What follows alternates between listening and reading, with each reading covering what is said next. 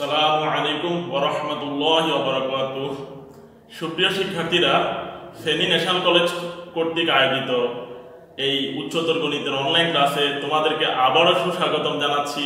আমি তোমাদের এই উচ্চতর গণিতের প্রভাষক সাজ্জাদ স্যার। নিশ্চয় তোমরা আল্লাহ, আল্লাহর অশেষ সহমতে ভালো আছো? আলহামদুলিল্লাহ আমি আল্লাহ তা আলার অশেষ রহমত এবং তোমাদের দোয়া ভালো আছি। তো গত ক্লাসে আমরা তোমাদের সরলেখার চ্যাপ্টারের এটা হচ্ছে থ্রি ই সেখান থেকে অনেকগুলো বেসিক জিনিস পড়- পড়েছি এবং শিখেছি। তো বাকি যে জিনিসগুলো আছে থ্রি ই এর এবং থ্রি এফ এর, সেই জিনিসগুলো আজকে আমরা ইনশাল্লাহ আলোচনা করব। চলো আমরা শুরু করি আমাদের আজকের উচ্চতর গণিতের অনলাইন ক্লাস তোমরা অবশ্যই সম্পূর্ণ ভিডিওটি শুরু থেকে দেখতে থাকবে। কেমন? ক্লাসটি উপভোগ করো। চলো, আমরা শুরু করি।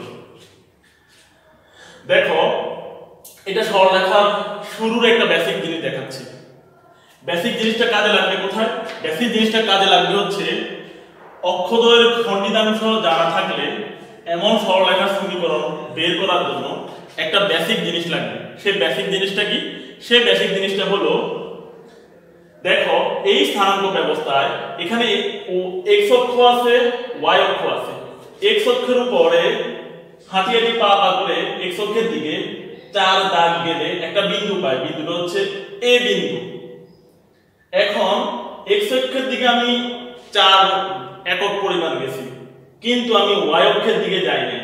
যেহেতু এক্স অক্ষের দিকে আমি চার পরিমাণ গেছি, সেজন্য এক্সের স্থানাঙ্ক লিখছি ফোর আর ওয়াই এর দিকে যেহেতু যাই নাই, সেজন্য আমি লিখছি জিরো সেজন্য এই বিন্দুটি স্থানাঙ্ক হচ্ছে ফোর জিরো তেমনি ওয়াই অক্ষের দিকে আমি হাঁটিয়াটি পা পা করে পাঁচ একক ঘর পরিমাণ গেলাম।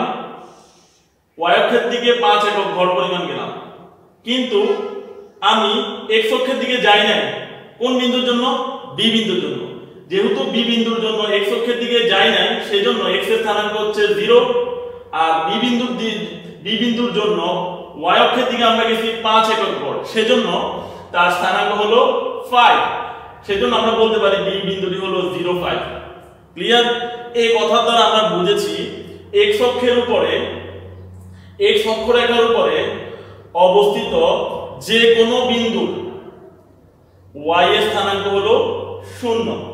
তাহলে আমরা বলতে পারি যে x অক্ষরেখার উপর অবস্থিত প্রতিটি বিন্দু x অক্ষরেখার উপর অবস্থিত? প্রত্যেকটা বিন্দুর y এর স্থানাঙ্ক কি? শূন্য। আর y এর স্থানাঙ্ককে আমরা বলি কোটি। সেজন্য বলতে পারি y এর স্থানাঙ্ক শূন্য, সুতরাং বিন্দুটির কোটি শূন্য।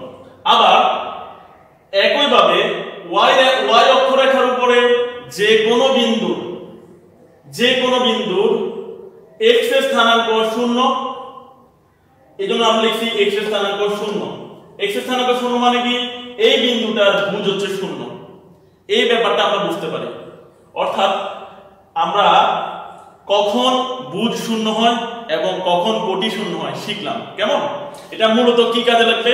এটা লাগবে হচ্ছে, দেখো তোমরা ভালো করে। বলতেছি যে অক্ষদয়ের খণ্ডিতাংশ জানা আছে, এমন সরল লেখার সমীকরণ কীভাবে বের করব? সেই রকম হলো, অক্ষ দুটো হলো x অক্ষ এবং y অক্ষ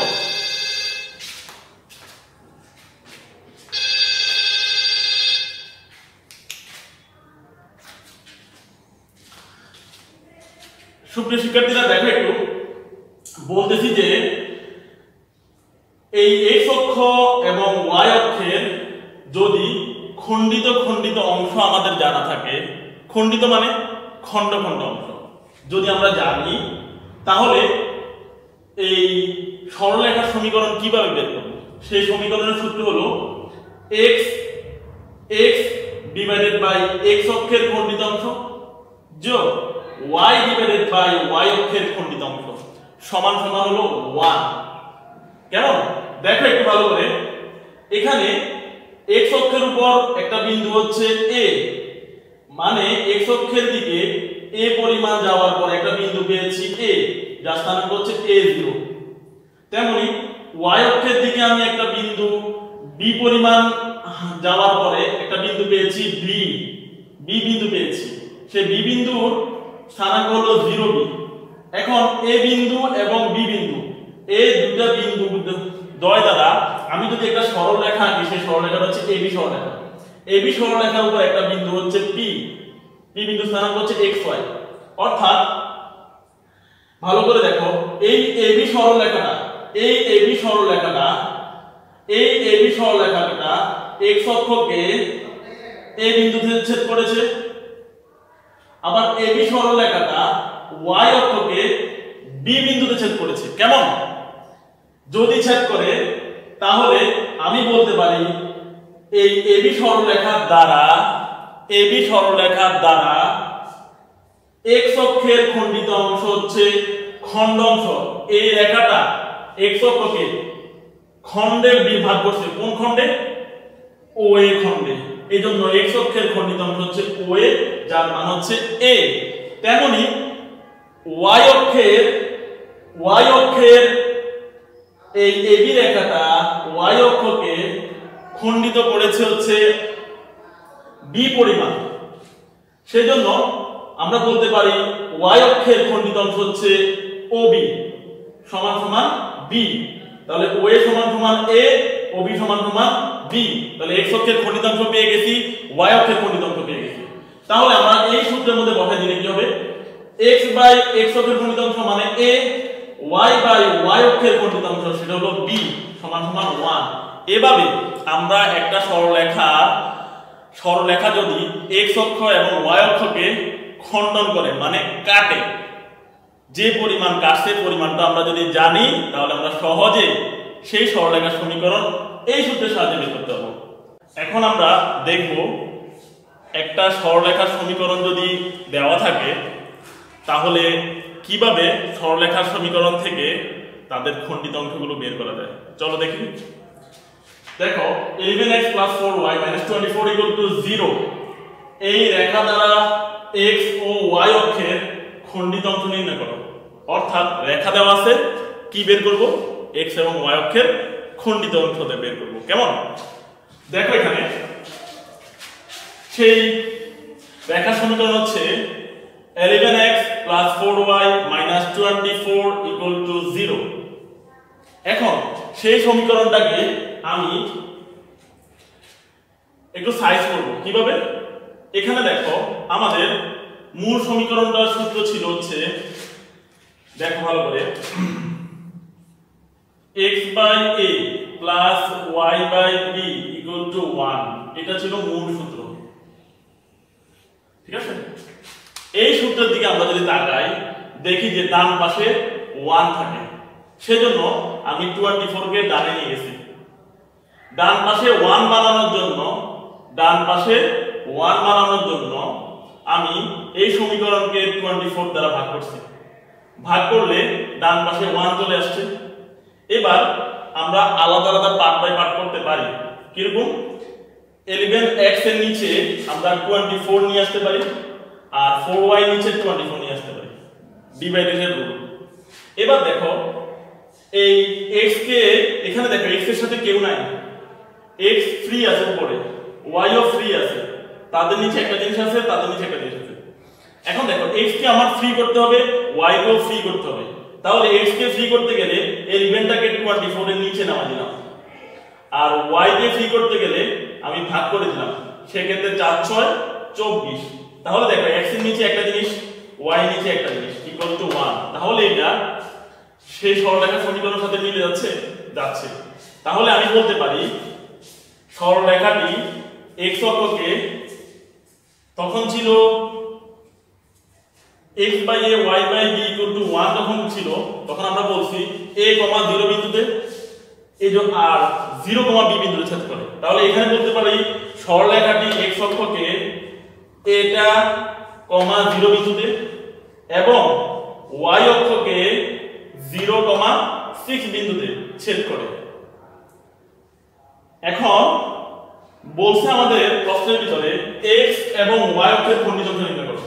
তাহলে এই x এর নিচে যেটা আছে, সেটা হলো x অক্ষের খণ্ডিত অংশ y এর নিচে যেটা আছে, সেটা হলো y অক্ষের খণ্ডিত অংশ তাহলে বলতে পারি x অক্ষের খণ্ডিত অংশ হচ্ছে 24 বাই 11 আর y অক্ষের খণ্ডিত অংশ হচ্ছে 6 এখন আমরা চিত্রের সাহায্যে দেখাতে পারি। x অক্ষ, এই AB রেখাটা x অক্ষকে 24 বাই 11 এই অংশে খণ্ডন করে। তেমনি এবি সরলরেখাটা ওয়াই অক্ষকে এবি সরলরেখাটা ওয়াই অক্ষকে খণ্ডিত করছে 6 পরিমাণ। তো এভাবে আমরা উদাহরণটা বুঝলাম, কেমন?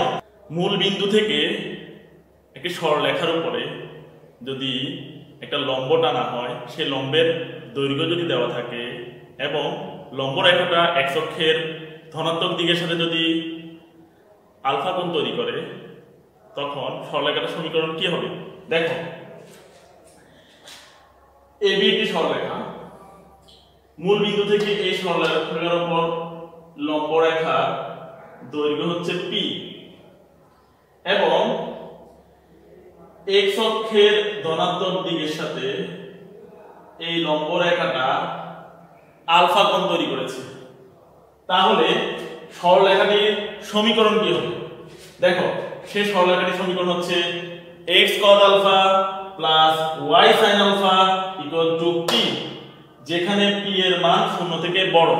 তাহলে আমরা একটা জিনিস বুঝলাম যে এই সরলরেখার সমীকরণ হচ্ছে x cos alpha plus y sin alpha equal to p, আর p যেহেতু লম্বের দৈর্ঘ্য আমরা জানি লম্বের দৈর্ঘ্য কখনো ঋণাত্মক হতে পারে না। অর্থাৎ দৈর্ঘ্য কখনো ঋণাত্মক হতে পারে না। সেজন্য পি এর মান all time greater than zero একটা উদাহরণ দেখো। এবি সরলরেখার মূল বিন্দু থেকে এবি সরলরেখার উপর লম্বের দৈর্ঘ্য হচ্ছে পাঁচ একক এবং কোণের মান দেওয়া হচ্ছে 60 ডিগ্রি। তাহলে এবি সরলরেখার সমীকরণ কি? এবি সরলরেখার সমীকরণ হচ্ছে এই সূত্র অনুযায়ী x cos আলফা আলফা মান হচ্ছে এখানে 60 ডিগ্রি, বসাই দিলাম 60 degree. Y sin alpha alpha মান হচ্ছে 60 degree. Equal to p p না রেখে লিখছি হচ্ছে লম্বের দৈর্ঘ্যটা, সেটা হচ্ছে কত? 5 একক। Cos 60 ডিগ্রির মান হচ্ছে হাফ বসাই দিলাম। Sin 60 ডিগ্রির মান হচ্ছে রোট 3 বাই 2 বসিয়ে দিলাম। এবার কি করলাম? লসাগু করলাম। লসাগু হচ্ছে এখানে 2 হয়, নিচে লসাগু। তাহলে কি থাকে? X root 3 into y equal to 5 পরে x রোট 3y রেখে দিলাম। 2 এই পাশে গুণ গুণাকার ভাগাকার আছে, ওপার দিলে গুণ হয়ে যাবে। 5 দুগুণে 10 হয়ে গেল। আর 10 টাকে এই পাশে নিয়ে আসলাম। অর্থাৎ x, y এবং ধ্রুবক সমস্ত কিছুকে বাম পাশে নিয়ে আসছি, ডান পাশে 0 রেখে দিছি। এইটাই হলো নির্ণয় সরলরেখার সমীকরণ। এখন আমরা দেখব হচ্ছে তিনটা জিনিস। একটা হচ্ছে পরামিতি, একটা হচ্ছে পরামিতিক স্থানাঙ্ক, একটা হচ্ছে পরামিতিক সমীকরণ। পরামিতি, প্যারামেট্রিক আর পরামিতিক স্থানাঙ্ক হচ্ছে প্যারামেট্রিক কোঅর্ডিনেট আর হচ্ছে পরামিতিক সমীকরণ, যেটাকে বলি হচ্ছে প্যারামেট্রিক ইকুয়েশন। প্রথম কথা হলো, পরামিতি কি? দেখো, একটা বিন্দু দেওয়া আছে, সেটা বিন্দুটার স্থানাঙ্ক হচ্ছে এক্স ওয়াই। এখন বিন্দুটার স্থানাঙ্ক এই এক্স ওয়াইকে এক্স অথবা ওয়াই, এই বিন্দুটাকে আমি যে কোনো একটি, কেবলমাত্র একটি চলকের মাধ্যমে নির্দেশ করব। অর্থাৎ আমি নতুন করে একটা জিনিস আনব। যেমন, আমি এক্সের পরিবর্তে যে কোনো কিছু আনতে পারি, অথবা ওয়াইয়ের পরিবর্তে যে কোনো কিছু আনতে পারি। মূল কথা হচ্ছে, বিন্দু স্থানাঙ্ককে কেবলমাত্র যদি একটি চলকের মাধ্যমে নির্দেশ করি, তাহলে সেই চলকটা হলো, অর্থাৎ নতুন করে যে চলকটা আনতেছি সেই চলকটা হলো পরামিতি। আর এই পরামিতি আনার কারণে, নতুন চলক আনার কারণে নতুন করে যে স্থানাঙ্কটা হবে, সে স্থানাঙ্কটার নাম হচ্ছে পরামিতিক স্থানাঙ্ক। আর যে সমীকরণটা হবে সেই সমীকরণের নাম হচ্ছে পরামিতিক সমীকরণ। আর এই পরামিতিক সমীকরণ আসবে, এটা কার্তেশীয় আকারের সমীকরণ থেকেই আমরা বের করব। ধরো, এটা কার্তেশীয় আকারের সমীকরণ হচ্ছে কার্তেশীয় মানে কি? যেখানে বিন্দু স্থানাঙ্ক হচ্ছে এক্স ওয়াই কার্তেশীয় আকারের সমীকরণ x minus two Y plus three equal to zero এটা একটা সমীকরণ, ঠিক আছে? এখানে বিন্দু, এখানে ওয়াই একটা বিন্দু আছে, ধরলাম। দেখো, এখানে আমরা y এর পরিবর্তে আমরা একটা জিনিস ধরলাম, সেটা হচ্ছে t, যেখানে টি হলো পরামিতি। অর্থাৎ y এর পরিবর্তে y চলকের পরিবর্তে নতুন করে আমরা আটটা জিনিস আনছি, সেটা কি? টি অর্থাৎ টি দ্বারা প্রকাশ করব। তাহলে এই সমীকরণটার ভিতরে যদি আমি টিটা বসাই দিই, তাহলে কি হলো? X 2t 3 0 2t 3 ওদিকে নিয়ে গেলাম, তাহলে x হলো 2t 3 তাহলে এই t হলো পরামিতি। তখন x y স্থানাঙ্ক যেটা ছিল বিন্দু, তার পরিবর্তে x এর পরিবর্তে পাইছি 2t 3 আর y এর পরিবর্তে পেয়েছি যে t এই স্থানাঙ্কটা হলো পরামিতিক স্থানাঙ্ক। কেমন? তাহলে এখানে t হলো পরামিতি এবং x y এর পরিবর্তে যে আমরা বিন্দুটা পাইছি, সেটা হলো পরামিতিক স্থানাঙ্ক। এখন t এর যে কোনো মানের জন্য, t এর মান 1 2 3 1 যা কিছু যেটা বাস্তবে সম্ভব। অবাস্তব হলে তো হবে না, কেমন? t এর যে কোনো বাস্তব মানের জন্য এই সমীকরণে যদি আমি, এ সরি এই এই সমীকরণে যদি আমি টি এর মানটা বসাই, তাহলে সমীকরণের বাম পক্ষ এবং ডান পক্ষ সমান হবে। অর্থাৎ সমীকরণটা সিদ্ধ হবে। অর্থাৎ টি এর যে কোনো মানের জন্য আমি সমীকরণটা সিদ্ধ করতে পারব। কোন সমীকরণটা? যে সমীকরণটা দেওয়া আছে। যদি হয়, তাহলে আমরা কি পাচ্ছি? আলটিমেটলি x হলো 2t 3 আর y হচ্ছে t যদি t এর যে কোনো মানের জন্য প্রদত্ত সমীকরণটা যেখানে আমরা এক্স এবং ওয়াই পেয়েছি, সেই এক্স এবং y এর ভ্যালুটা যদি এখানে বসাই দিই, t এর যে কোনো মানের জন্য, তাহলে সমীকরণের বাম পক্ষ এবং ডান পক্ষ শূন্য হবে। তখন সমীকরণটা আলটিমেটলি আমরা বলব সিদ্ধ হয়। তখন এই দুটো সমীকরণকে আমরা কি বলব? পরামিতিক সমীকরণ। এখন আমরা সরলরেখার থ্রি এফ চ্যাপ্টারটা একটু দেখব। থ্রি এফ চ্যাপ্টারের বেসিক জিনিসগুলো দেখব কেমন? প্রথমে আমরা আলোচনা করব ছেদবিন্দু নিয়ে। ছেদবিন্দু আসলে কি? অর্থাৎ দুটি সরলরেখা পরস্পরকে যে বিন্দুতে ছেদ করে, সেটা হলো ছেদবিন্দু। এখন কথা হচ্ছে এই কথার মানেটা কি? এই কথার মানে হলো দুইটি সরলরেখার একটি কমন পয়েন্ট থাকবে, যে পয়েন্টে তারা ছেদ করবে। অর্থাৎ দুটি সরলরেখার সাধারণ বিন্দুই হলো তাদের ছেদবিন্দু। দেখো এটা একটা সরলরেখা, এটা একটা সরলরেখা। তাদের কমন পয়েন্ট হচ্ছে তারা x1 y1 অর্থাৎ এটা হলো সাধারণ বিন্দু। এই সাধারণ বিন্দুটা হলো তাদের ছেদবিন্দু। আর এই ছেদবিন্দু বের করার সিস্টেমটা কি দেখো? এটা একটা সরলরেখা সমীকরণ, এটা একটা সরলরেখা সমীকরণ। যদি এই দুটি সরলরেখার সাধারণ বিন্দু x1 এবং y1 হয়। তাহলে এই x1 y1 হলো তাদের সমাধান বিন্দু বা ছেদবিন্দু। আর দুটি সরলরেখা সমীকরণ দেওয়া থাকলে কীভাবে সাধারণ বিন্দু বা ছেদবিন্দু বের করা যায়? সেটা হচ্ছে সরলরেখা দুটাকে শুধুমাত্র সমাধান করে নেব। সমাধানের পদ্ধতি কি? সমাধানের পদ্ধতি হচ্ছে আমরা প্রতিস্থাপন পদ্ধতিতে করতে পারি, অপনয়ন পদ্ধতিতে করতে পারি, আমরা বর্ধগ্রহণ পদ্ধতি করতে পারি, আমরা নির্ণয় পদ্ধতি করতে পারি। এই চারটা পদ্ধতিতে আমরা সমাধান করতে পারি। যে কোনো উপায়ে এই চারটা পদ্ধতিতে আমরা যদি সমাধান করে আমরা যদি এক্স এবং ওয়াই এর মান বের করি, ওইটাই হলো সমাধান বিন্দু বা সাধারণ বিন্দু বা ছেদ বিন্দু। ধরলাম এখানে সাধারণ বিন্দু হলো এক্স ওয়ান ওয়াই ওয়ান আর যে সাধারণ বিন্দুটা বের হবে, মনে রাখবা তোমরা একটা জিনিস, দুইটা সমীকরণ সরলেখা সমীকরণ যদি সমাধান করে আমরা যে বিন্দুটা পাবো, সেই বিন্দুটা দুইটা যদি ওই সরলেখার মধ্যে আবার বসানো হয়, তাহলে বিন্দু দুটো দ্বারা বিন্দুটা দ্বারা সরলেখাটা কি হবে? সিদ্ধ হবে। কেমন? ধরো এই দুটি সরলেখা সাধারণ বিন্দু মানে হলো ছেদ বিন্দু হলো এক্স ওয়ান আর ওয়াই ওয়ান কেমন? তাহলে এক্স ওয়ান এবং ওয়াই ওয়ান যদি এই সমীকরণে বসাই দিই, তাহলে কীভাবে বসাবো?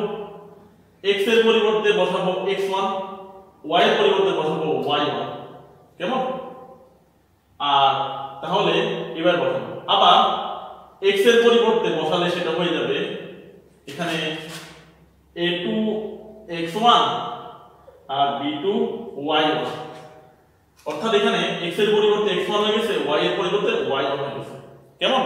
তাহলে এখানে মূল জিনিস হচ্ছে, সমীকরণ দুটো সমাধান করলে যে বিন্দুটা পাবো সেটা হলো সাধারণ বিন্দু বা সমাধান বিন্দু, আর সমাধান বিন্দু হলো ছেদবিন্দু।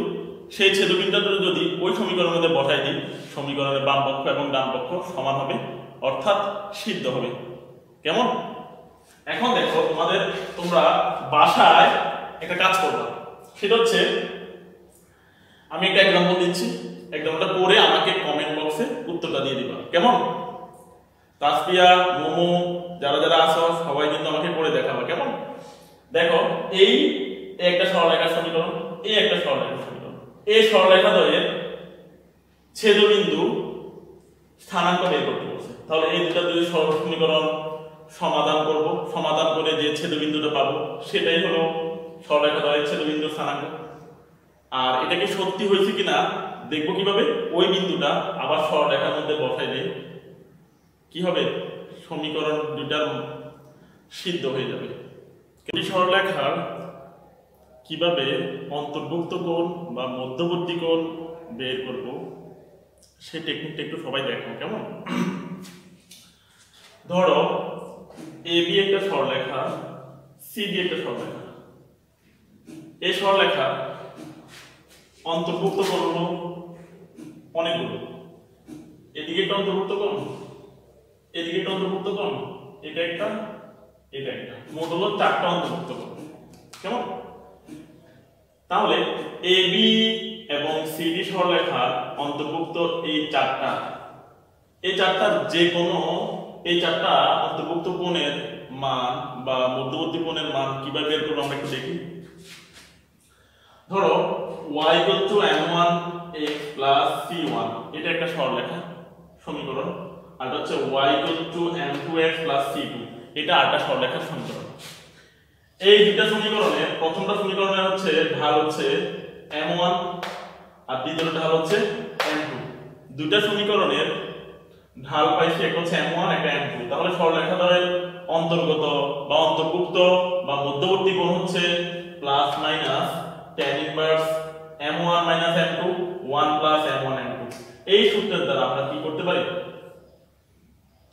অন্তর্ভুক্ত কোণ বের করতে পারি। কেমন? এখন একটা আরেকটা সূত্র দেখো, আরেকটা যদি দেখো, সরলরেখা সমীকরণটা যদি এরকম হয় a1x b1y c1 0 হয়, এবং a2x b2y c2 0 হয়, তাহলে আমরা এই দুটো সমীকরণ থেকে ঢাল বের করে আমরা গত ক্লাসে শিখছি কীভাবে একটা সমীকরণ সরলরেখা সমীকরণ থেকে তার ঢাল বের করা যায়। ওই একই সিস্টেমে আমরা প্রথম সমীকরণ এবং দ্বিতীয় সমীকরণ থেকে আমরা ঢাল বের করব। তাহলে প্রথম রেখার ঢাল হচ্ছে m1 a1 b1 আর দ্বিতীয় রেখার ঢাল হচ্ছে m2 মাইনাস a2 b2 অর্থাৎ আমরা গত ক্লাসে শিখেছি একটা সরলরেখার সমীকরণ থেকে কীভাবে ঢাল বের করা যায়। একই নিয়মে এখানে আমরা ঢাল বের করব। এই যে ঢাল যে m1 m2 সেই m1 m2 এর মান যদি এখানে বসাই দিই, তাহলে আমি অন্তর্ভুক্ত কোণ বের করব। তাহলে আমরা শিখছি কি?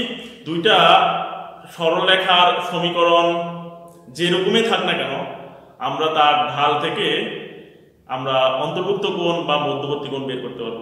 এখন আমরা দেখব হচ্ছে দুটি সরলরেখার সমীকরণ দেওয়া থাকলে কীভাবে তাদের মধ্যবর্তী কোণ নির্ণয় করা যায়, তা একটা এক্সাম্পলের মাধ্যমে দেখব।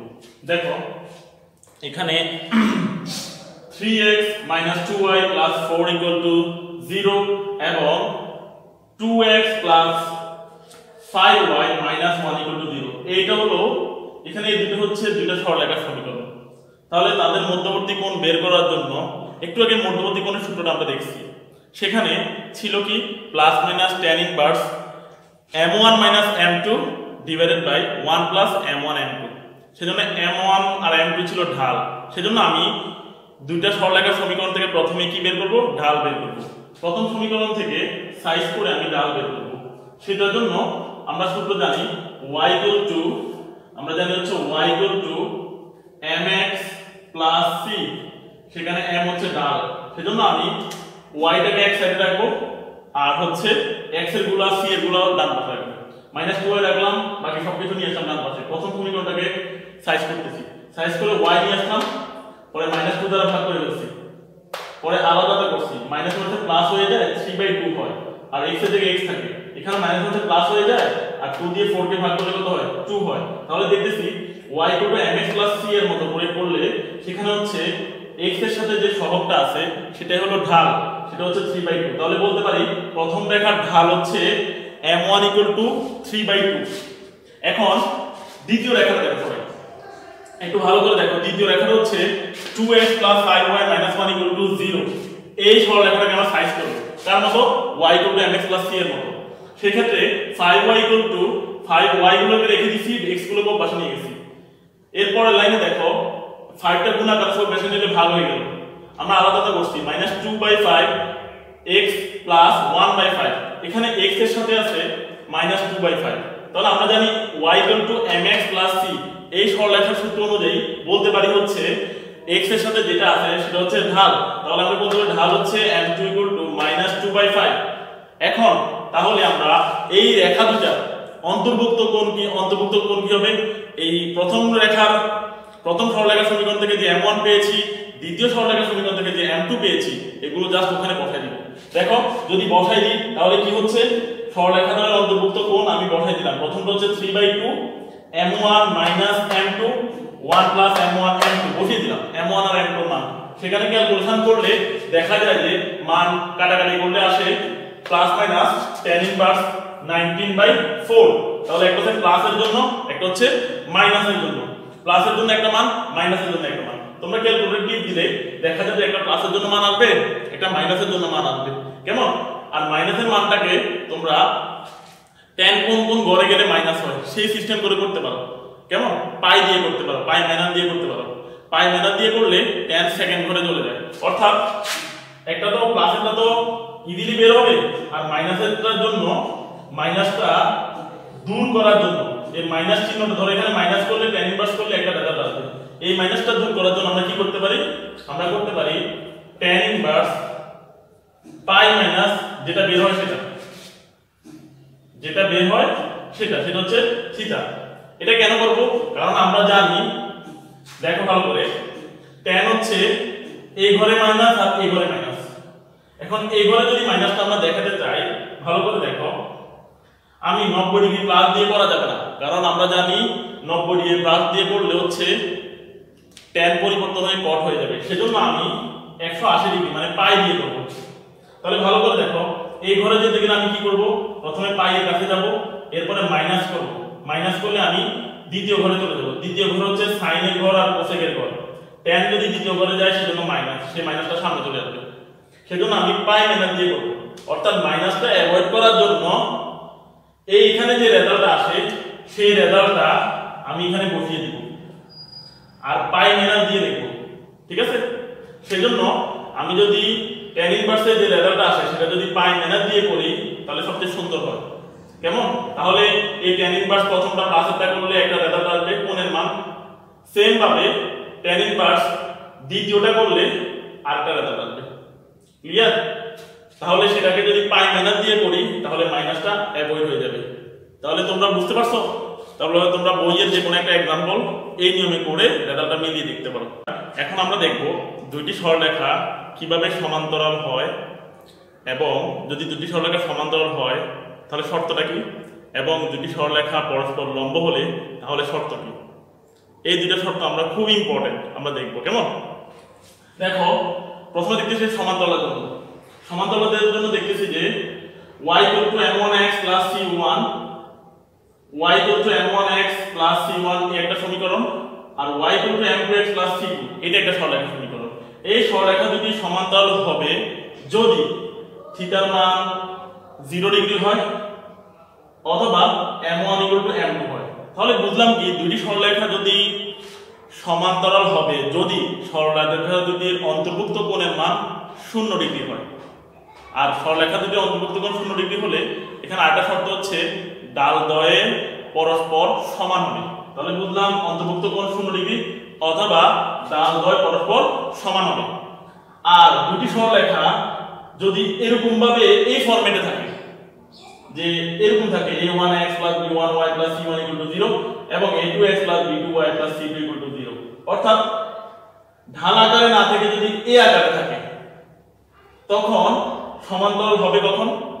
তখন হলো x এর যে সহগগুলো আছে, প্রথম রেখা আছে a1 দ্বিতীয় রেখা আছে a2 আর y সহগ হচ্ছে b1 আর b2 দেখো, x প্রথম রেখার সহগ a1 by a2 equal to b1 by b2 অর্থাৎ প্রথম রেখায় x এর সহগ ডিভাইডেড বাই দ্বিতীয় রেখায় x এর সহগ ইকুয়াল টু প্রথম রেখায় y এর সহগ ডিভাইডেড বাই দ্বিতীয় রেখায় y সহগ। তাহলে a1 by a2 equal to b1 by b2 তাহলে দুটি সরলরেখার সমান্তরাল শর্ত হচ্ছে মোট তিনটা। অন্তর্ভুক্ত করে মান 0 ডিগ্রি ডাল দ্বয় পরস্পর সমান এবং A one by A two equal to B one by b2 আর যদি লম্ব হয়, সেই লম্ব রেখার শর্ত কি? লম্ব রেখার শর্ত, লম্ব হওয়ার শর্ত হলো অন্তর্ভুক্ত কোণের মান 90 ডিগ্রি হবে এবং ডাল দ্বয়ের গুণফল মাইনাস ওয়ান হবে। আর একটা শর্ত হচ্ছে x এর সহগ a1 x এর সহগ এ টু যোগ x এর y এর সহগ b1 ইনটু এর সহগ b2 এই দুটার যোগফল হলো শূন্য। তাহলে সরলরেখা দুইটা লম্ব হওয়ার শর্ত কয়টা? তিনটা। কোণের মান 90 ডিগ্রি হবে ডাল দ্বয়ের গুণফল মাইনাস 1 হবে, এবং a1 a2 plus b1 b2 equal to 0 হবে। এখন দেখো, আমরা এখন এক শিখব, একটা সরলরেখা সমীকরণ দেওয়া থাকলে তার সমান্তরাল সরলরেখার সমীকরণ কি হবে? তার সরলরেখা সরলরেখার সমীকরণ হচ্ছে 4x 3y 10 0 তার সমান্তরাল সরলরেখার সমীকরণ কি? যা আছে তা শুধু আমি এর পরিবর্তে একটা ইচ্ছামূলক ধ্রুবক নিব, সেটা হচ্ছে k কেমন? এখন যদি কোনো বিন্দু দেওয়া থাকে, এই সমান্তরাল সরলরেখাটা, এটা কিন্তু, এটা হচ্ছে সমান্তরাল সরলরেখা সমীকরণ। তাহলে এই রেখা সমান্তরাল সরলরেখা সমীকরণ কোনটা? এটা। এখন আমি কে এর মান তো জানি না। কে এর মান বের করার জন্য আমি এই সরলরেখাটাকে একটা বিন্দু দিয়ে পাস করে দিব। বিন্দু দিয়ে পাস করে দিলে কে এর মান বের হয়ে যাবে। একই রকম ভাবে একটা সরলরেখার সাথে লম্ব হয়, এরকম রেখা সমীকরণ কি? দেখো এরকম রেখা সমীকরণটা একটু প্যাচ সমান্তরালটা সহজ, যা আছে কে লাগে দেবো এক্সট্রা কিন্তু যদি লম্ব হয় তাহলে কীভাবে করব? লম্ব হলে, দেখো, প্রথমে x লিখব, এরপরে y লিখব। দেখো, x এর সহগ হচ্ছে এখানে 4 x এর সহগ চলে গেলে চলে যাবে y এর সাথে। আর y এর সহগ চলে আসবে 3 কার সাথে? x এর সাথে। তাহলে x এর সহগ চলে গেছে y এর সাথে, y এর সহগ চলে আসবে x এর সাথে। এখানে যদি প্লাস থাকে, এখানে হবে মাইনাস এখানে যদি মাইনাস থাকে, এখানে হবে প্লাস আর লাস্টে কে লাগাই দেবো, ইচ্ছামূলক করব আর এই কে এর মান আমি কীভাবে বের করব? কে এর মান এই সরলরেখাটাকে যে কোনো ওই সরলরেখার উপর যে বিন্দু থাকে সেই বিন্দু দিয়ে আমি পাস করে দিব। তাহলে কি মান পেয়ে যাব? কে এর মান পেয়ে যাব। কে এর মান যদি আমি এখানে বসাই দিই, তাহলে আমি লম্বরেখা সমীকরণ পেয়ে গেলাম। তাহলে একটা সরলরেখার সমান্তরাল সরলরেখা সমীকরণ কীভাবে বের করে তা শিখলাম এবং একটি সরলরেখার লম্ব রেখার সমীকরণ কীভাবে তা শিখলাম। তো আজকের মতো এতটুকুই।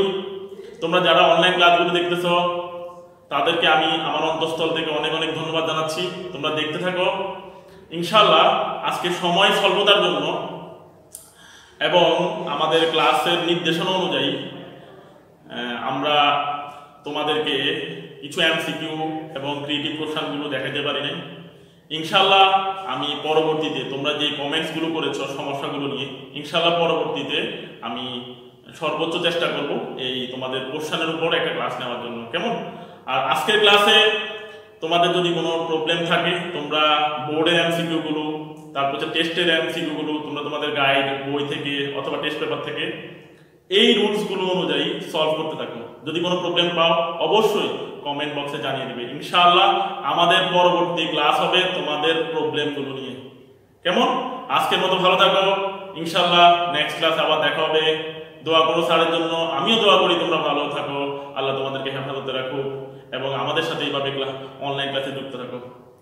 আসসালামু আলাইকুম ওয়া রাহমাতুল্লাহি ওয়া বারাকাতুহু।